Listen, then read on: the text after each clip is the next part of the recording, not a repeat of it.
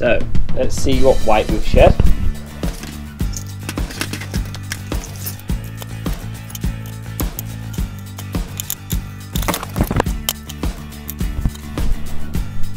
So there we go. Pretty much one stone. So today we're going to be taking the unnecessary weight, the unused airbags out of these seats. So welcome back and let's get started. Okay, so I recommend putting your seat down on something soft, something that's not going to scratch it or damage it. So now use this side pump which you can higher and lower the seat. Higher it all the way up to expose these. That will then show you where the clips and that are to help you out. For this, I've got a little bit set and I've just got a couple of different trim tools. We're going to remove this Torx bit here. We're going to remove this Torx bit. So once you remove that Torx bit, that one clips in, so that one will come off then. This side here, you have to, excuse one-handed, but you have to get under this lip here. So you get under there like that, and you pop that off, exposing this. Now, this actual kind of handle, this is actually clipped on as well. So get a trim tool or something that's not going to scratch it. Try and get behind it and then do it like that. Obviously not as, as ferocious as that. But That was one-handed. All the clips are all intact. It just sounds a little bit more ferocious than it is. So now we've got to take this hand pump handle off. How you do that is you pop this cap out and then remove this screw here at the front. So the good thing about having this pumped up is things like these clips you don't need to try and get a pick tool in the front and flick it out. You can get behind it and literally just push it out so you don't you minimize the facial damage. Now inside here is a 6mm Allen key. So undo that and then this this handle will pull out.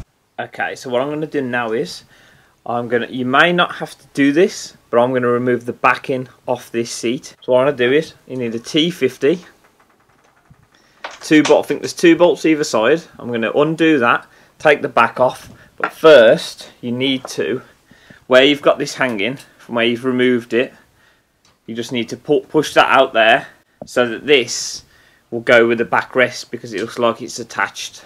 So I'll do that now. Right, so when you've done that guys, you'll end, this is the, the result that you'll end up with. This is the wire that runs to the seatbelt tensioner, but you can just cut. So when you remove the seatbelt pre-tensioner, obviously you've already done that by this point. I've probably forgot to show you that, but just unbolt that and cut the wire because you're not going to use this for the airbag. So you might as well cut the wire and then that just feeds up this little gap here. So just pull that through and then you'll end up with this. Don't get worried. It's more intimidating. It looks more intimidating than it actually is. Stay positive. Have a positive frame of mind towards this work. You've got this video to help you. If you're a little bit concerned, take pictures as you go in and put bolts and things in order and in line so that you know where they go and you've got things to reference. Basically, don't get worried. Keep going. Stay positive, and uh, and you can do this. Because if I can do it, guys, so can you. Another good thing about this, guys, is you can completely, thoroughly clean all this now. Get in the back where you couldn't get before. Clean all the metalwork. Make sure it's nice, fresh and clean. To pull the bottom off. To pull all this off. This will roll into it. And then we're probably to have to go all the way around and uh, try and work out what's got clips holding it in. I mean, I've never done one of these before, so I don't know what the score is. So what we'll do is we'll just start and uh, see how we get on. Normally trim kind of rolls in. Yeah. So we'll take the covers off. So I'm guessing, if you know about these seats, you'll be like, oh my god, he's doing it so wrong. But I'm guessing we'll keep the plastic intact. We'll take all the covers off. We'll take all the foam off. And then from there, we can then access the airbag itself. Famous last words. I'm going to learn. I'm going to see how we get on and see if I've made a mistake or not. I probably should have watched some videos. In fact, there isn't any videos on this kind of thing, I don't think. I mean, I haven't really looked for them, but I've never come across something like this. I like to just jump in and uh, learn as I go. Sometimes you need to strip things, guys, to, uh, to actually learn how they work.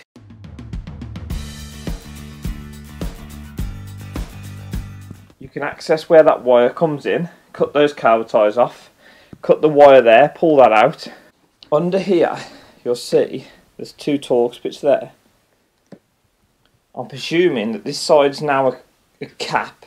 Take that cap off, undo the Torx bits, remove these plastic inserts, and then I can get all of this off here, all the way around, like this.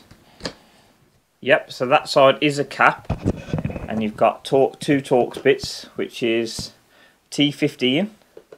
Okay then guys, so leave the backs on, pop the fronts off, obviously you remove those two screws, you'll see this side, there's two clips, two retaining clips, which go there, look see. So basically, you want to get your little screwdriver under here, or a little plastic trim tool, and push that that way because you want to be careful here. You don't want to damage or break these because there's nothing worse than having all this back together and these being floppy and that. You want them to be tight, you want them to be factory fitting as if it's never been messed with. That's the overall goal here. So, same on this one, two clips on the inside. Okay, so then you'll have something like this. The reason why that's just folded over and not taken off completely is because I've undone the material from all this clip all the way around but for some reason where the handle is at the back along here it seems very very tight and it doesn't want to come out so it feels like you've got to screwdriver it out. So to save doing that all I've done is I've left that in and I've just peeled the seat back. It's not going to rip the lever, it's not going to damage anything. There's no stress or pressure on it. Just make sure that this part here is higher than this so it's not going down as well like that. So it is literally just going over and like that, not down. So that's something to note. And then we can take these little Allen keys out and then we'll see what happens then. I'm hoping that this falls off, but so it looks like there's 11 in total. And now we can remove the airbag, remove the unnecessary weight and enjoy our seats a little bit more.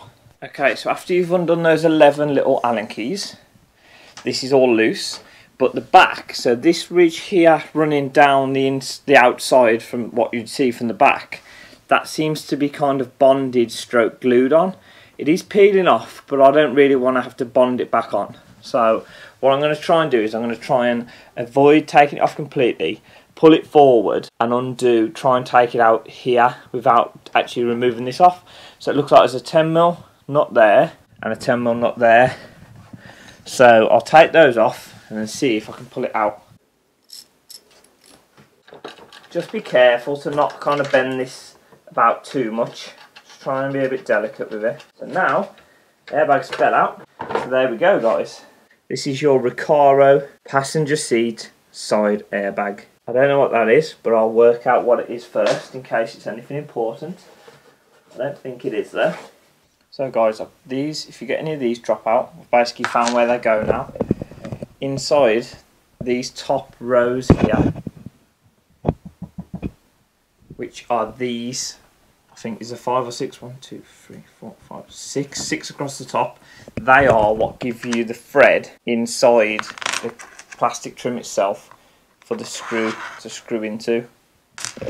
So they push up into this trim here. So when they drop out just look for the ones that are missing and push them back in. And then when you've done that basically it's the reverse to what we've just done so completely reverse the procedure that we've just done and build it back up.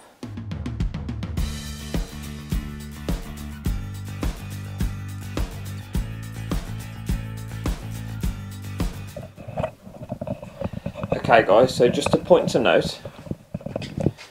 When you're putting all this back together make sure with trim you want to give it a bit of a slap bit of a bit of beating to get it puffed back out, to get it pulled tight, give it a good whacking. But here, there's a, part of the rubber, not the rubber, sorry, part of this, so this here, make sure that this foam, this is lipped, so this goes over the outside of the bolster. So make sure that those lips are over before you roll the plastic clips behind the lever 180 back into the channels. So make sure that's all, and just go around and make sure it's all in, it looks right, it's good to go.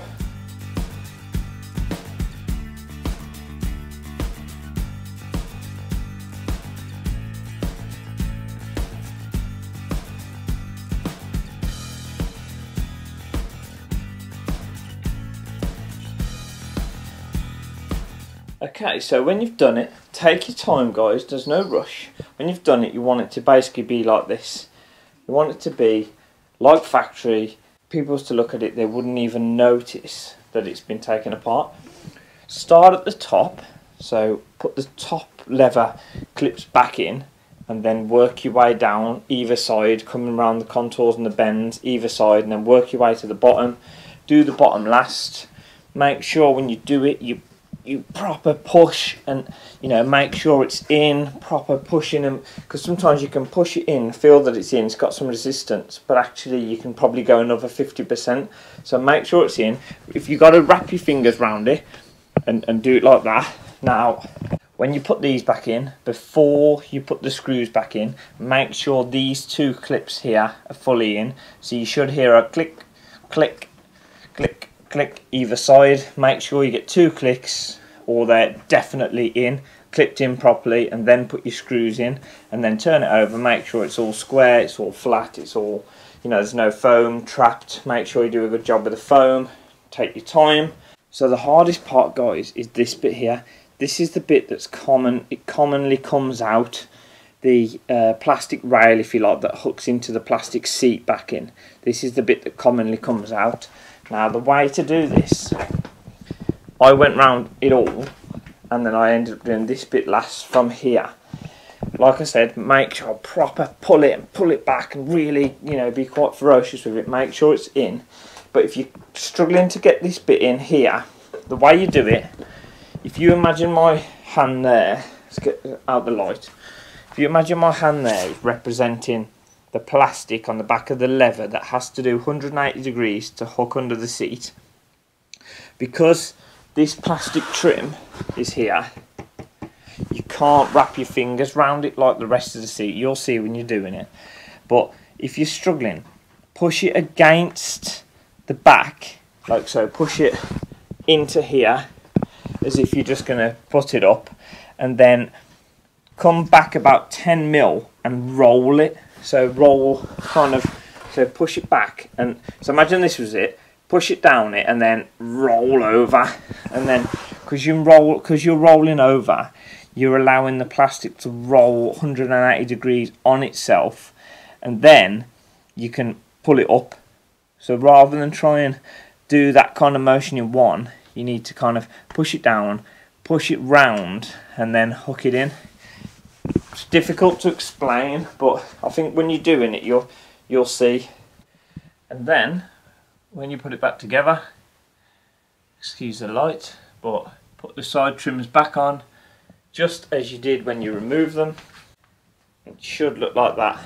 Now, rotate the back all the way back and all the way up, and then pump the bottom all the way down and all the way up, just to make sure you've got full function again, like you did before you stripped it that's the end result guys. Seats a little bit lighter. Let's have a look at that now. Okay so we're going to do a bit of a before and after weight test. We'll give it a go.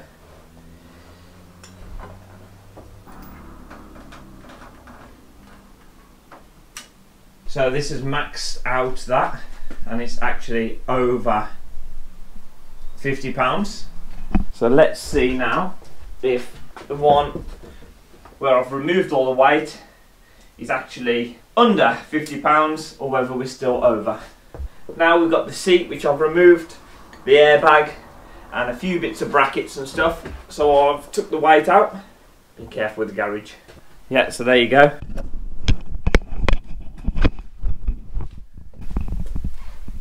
Forty-four pounds, give and take. We've probably lost seven pounds in total. So if you go £15 for the two seats, I mean that's not bad to be fair. So that's the end of this one guys. Thanks for watching. I hope it's helped you do your own. I hope it's had value. Hit that like button and hopefully I'll see you next time.